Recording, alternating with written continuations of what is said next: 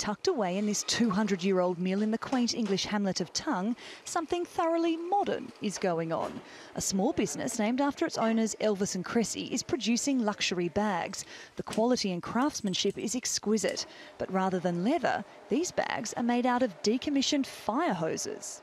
So of course it's water resistant. It's also scratch resistant. You know, the, a piece of fire hose you can you can go like this a piece of fire hose. You would never do that to a leather bag. Um, it's heat resistant. It's not exactly fireproof, but you know, it's it's fire resistant. When Kresse Wesling discovered the London Fire Brigade was sending 3 to 12 tonnes of old hose to landfill a year, she decided to rescue it. But rescuing it is hard work. The outside of the hose is dirty because of grime and soot and things like that. The inside of the hose is often dirty because of standing water, so you can get this jelly, mouldy grossness on the inside of hose. Once clean and dry, the hose is ready for transformation.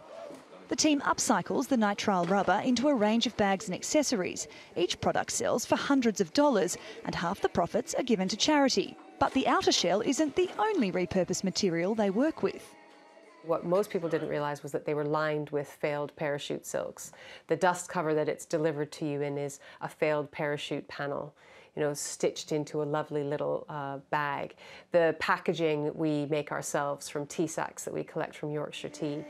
And the business hasn't stopped at fire hoses. It's also signed a deal with luxury fashion house Burberry for its leather offcuts, which until now were simply thrown out. The leather is cut into small panels which fit together in an interlocking pattern to make the bags. There's 800,000 tonnes of post-industrial leather waste produced globally each year.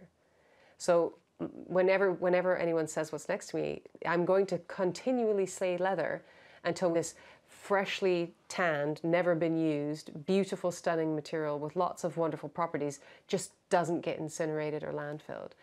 Over the past 14 years, Elvis and Kresse has saved 200 tonnes of product, like this fire hose, from going to landfill. Sure, it's a drop in the ocean of the 40 million tonnes of waste that ends up in UK landfill every year, but it's ambitious and groundbreaking projects like this one that drive social change. The concept of throwing away still usable textiles appalls Kresse and her team, as does the environmental cost of unnecessarily manufacturing new raw materials. They're leading a charge to change the way society thinks about waste, to show that reusing is better than recycling, and to prove that upcycling not only helps the environment, but can be very profitable too. Sarah Morris, TRT World, Tonge.